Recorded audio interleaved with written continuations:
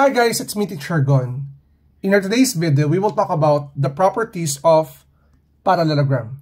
This one is under graded mathematics, under geometry. So without further ado, let's do this topic.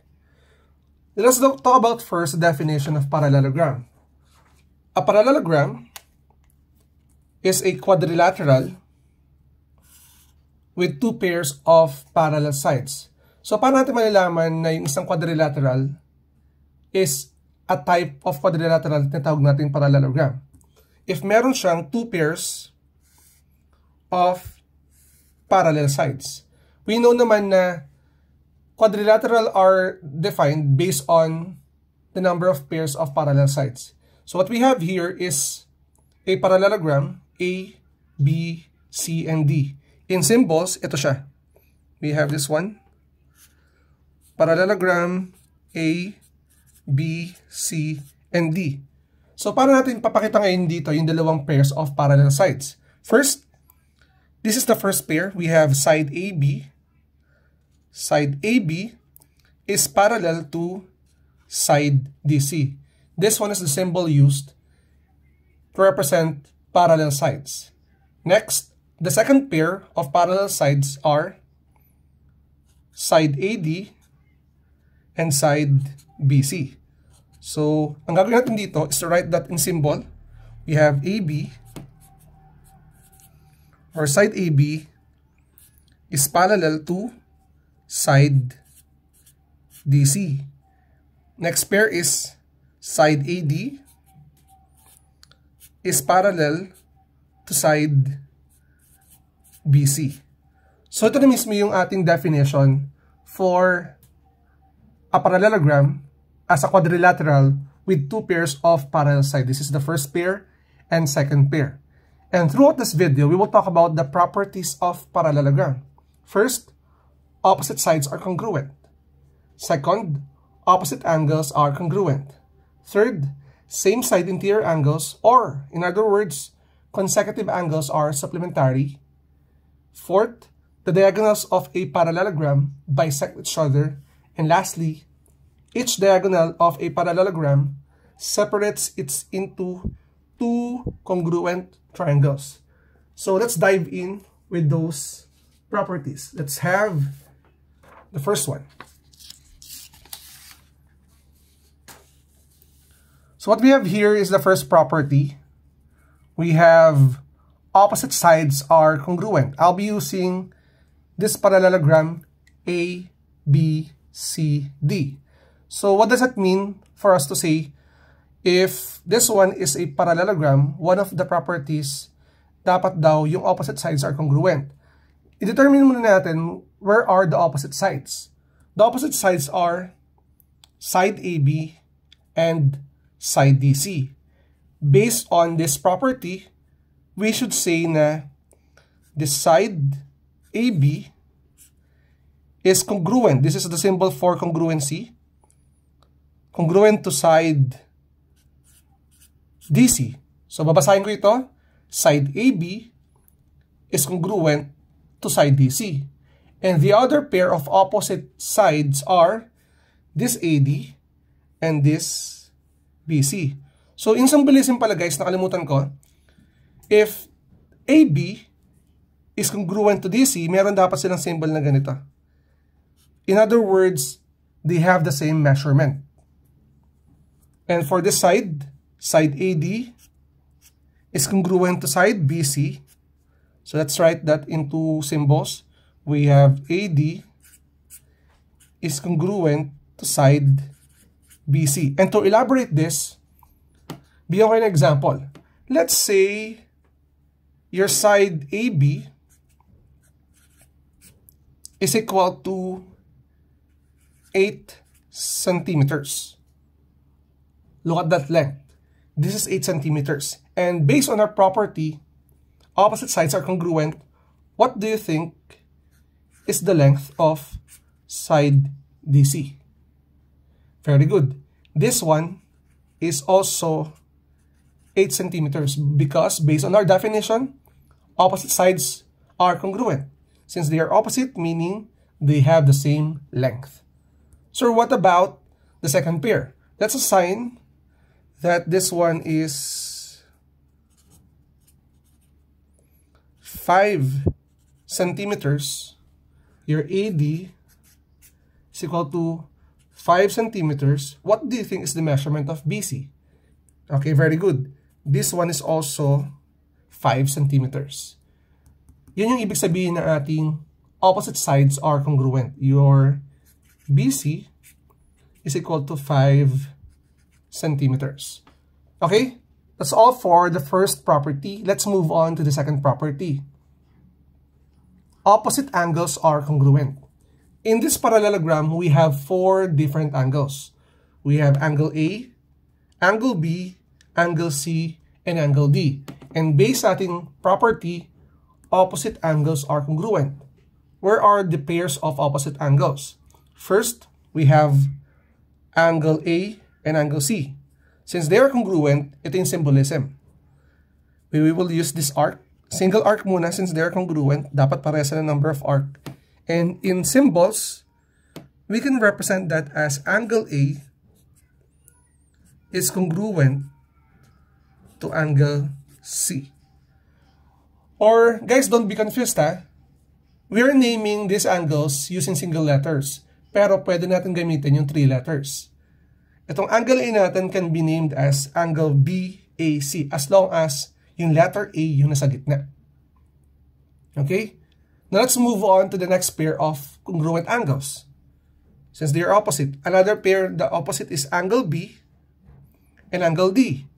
Since we have this property, the two angles are congruent. This is congruent to this angle. In symbols, we have angle B is congruent to angle D. So, bigyan ko examples. Let's say your angle A measures 100 degrees. So, this is 100 degrees. What do you think is the length or the measurement of this angle C? Think about it. Very good. This one is also 100 degrees because these two angles are congruent. Your angle C is equal to 100 degrees. Okay? Now, what about angle B? Let's say this is 80 degrees. What do you think is the measurement of angle D? Okay, very good. This one is also 8 degrees because opposite angles are congruent. Okay? In the next part of our video, we will talk about the third property. Now, for the third property, we have here same side interior angles or consecutive angles in a parallelogram are supplementary. Let's talk about supplementary. Pag sinabi natin supplementary, basically, um, we have two angles and their sum and the sum of their angles is equal to 180 degrees. So, let's define first or let's identify first alin dito yung mga consecutive angles. Consecutive angles ay magkasunod. Example, angle A and angle B. They are consecutive angles. Angle B and angle C are also examples of consecutive angles, as well as C and D and D and A. So, paano natin siya ilalagay into symbols? In symbols, we have angle A plus angle B, and that is equal to 180 degrees. Another pair is angle B plus angle C is equal to 180 degrees. Angle C plus angle D is equal to 180 degrees. We have angle C, ay angle D plus angle A that is equal to 180 degrees. And as you can see, ginamit ko yung previous example natin from property number 2. Look, your angle A is 100 degrees. Your angle B is 80 degrees. Since they are consecutive, if you will add 100 degrees by 108 by 80 degrees, it will give you the sum of 180 degrees. Same with B and C. 80 plus 100 is 180. 100 plus 80 is 180. 80 plus 100 is 180. I hope you learned something from this property because a lot of students are confused about this one. So let's move on with the fourth property. For the fourth property, what we have here is that the diagonals of a parallelogram bisect each other. As you can see, originally, meron lang tayo dito ano, apat. Ito, ito, ito. Now, this is your diagonal. We have diagonal AC and diagonal BD.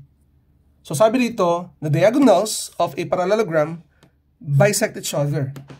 In layman's term, we could say na uh, kapag nag-intersect silang dalawa, nag-intersect yung dalawang diagonal natin, hinahati nila yung isa't isa. Now, in symbols, paano yun?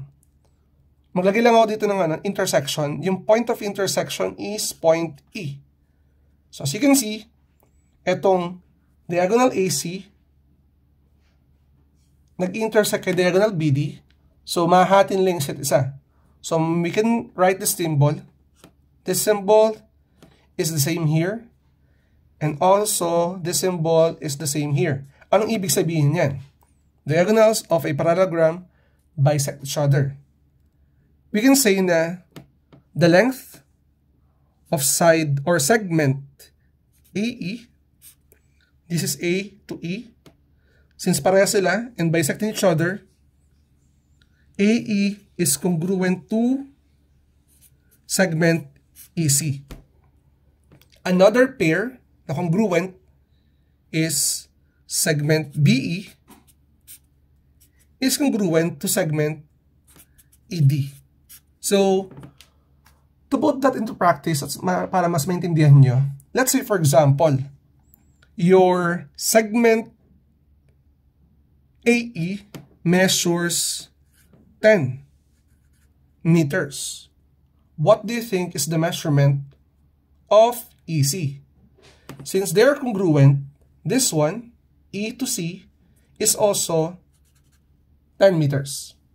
Right? And sure, what about this uh, segments? Let's say this is 12 meters. DE or segment DE measures 12 meters. What do you think is the measurement of BE? This one is also 12 meters. Yan yung pinaka-importanting concept about the diagonals of parallelogram bisect each other. Now let's move on to the last part of these properties. And here it is. The last one. Each diagonal of parallelogram separate each into congruent triangles. So let's focus first on this illustration. We have parallelogram A, B, C, and D. And as you can see, nagdraw tayo ng diagonal BD. Now, ano yung pinaka-ibig sabihin yan? As you can see, meron tayong dalawang triangles.